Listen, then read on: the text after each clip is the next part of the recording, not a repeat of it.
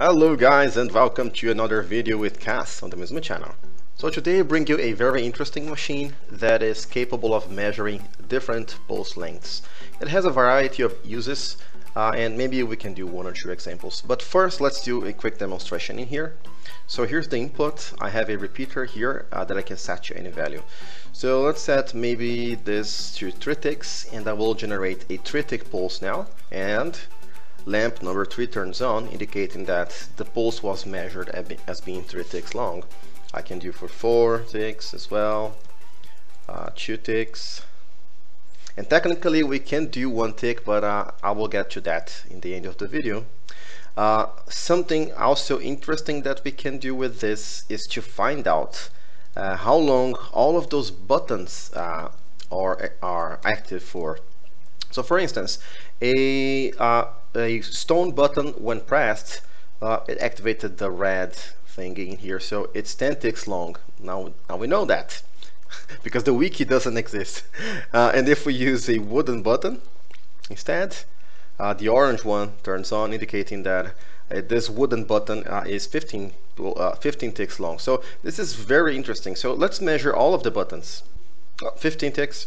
Oh, 15 ticks again. Are you saying this is 15 ticks? No, I bet this one's going to be different. Okay, 15 I know, but this one is special. It's not going to be 15 ticks if it's the last.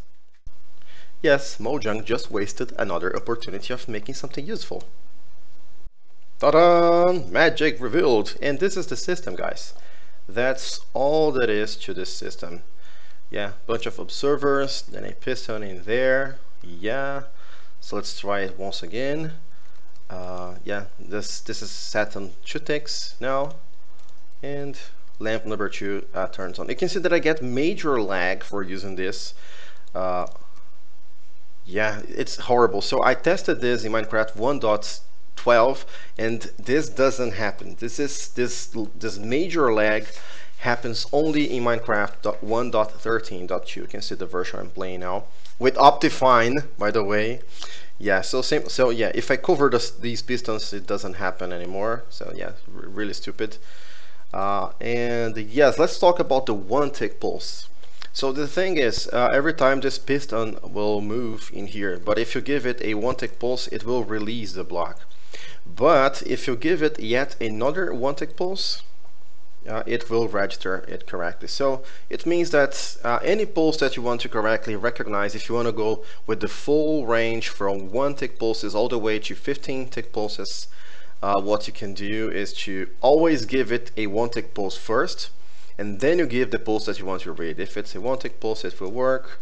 If it's a three tick pulse, uh, well, first I need to give it a one tick pulse, then three, and uh, it works correctly. Let's try with the button. I don't have a button on me now, but um, yeah, I just didn't include this just to show you how compact it is for most of the things. If you want this specific behavior, you will need to change it yourself. Oh, by the way, I need to still give this guy the pre one tick pulse, and if you give it the button click, it will, so 10, 11, 12, 13, 14, 15, so 10 tick pulses uh, as expected. So this is very easy to do. I think this could be useful to some people.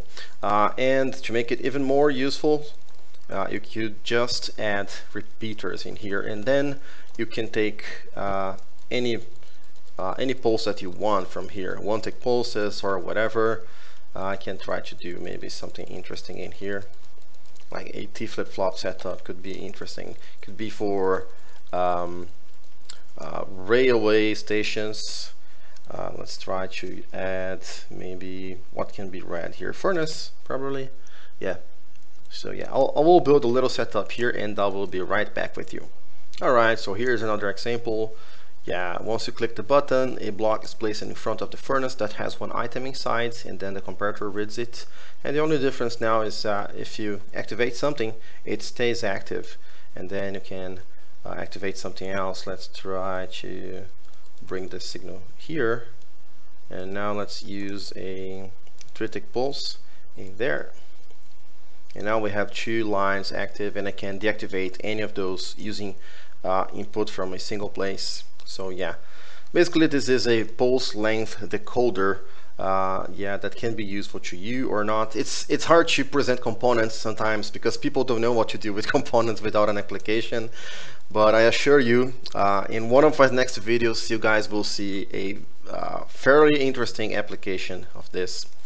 Uh, but yeah, guys, uh, I don't I don't think you need a tutorial for this, uh, but I, I will show you how to build it anyways. I almost forgot to do this. oh man. Okay. You need you need something to be to act as an updater here. Could be a trapdoor. Depends on your system. Maybe your system is not capable of uh, detecting updates from uh, from observers because this is a inconsistent game. So yeah, you just have to place a few components in there. You don't have to extend it all the way to 15. By the way, there are ways to make this infinitely expandable, but I will not discuss this in this video because the point is to be uh, to go in with with simplicity. Okay, and now we place our sticky piston in here and just place a redstone line in here. The one bit that is important uh, to remember is to place one extra bit of redstone dust right there so that uh, it won't activate when the piston when the piston extends only when the piston retracts because this depends uh, on the specific behavior of pistons retracting instantly. Uh, so we only we only care about the retraction, not about the extension or anything like that. Okay, and that is already it. That's all you need. Uh, let me place let me place some lamps in here just to demonstrate how it works. Uh, and uh, let's pick a nice pulse, three tick pulse. There you go. Third lamp, fourth lamp, second lamp, and for the first one you need to give it two tick two one tick pulses. And yeah first one. So very easy to build. And good luck guys. And thank you very much for watching this video. Hope to see you guys soon. Goodbye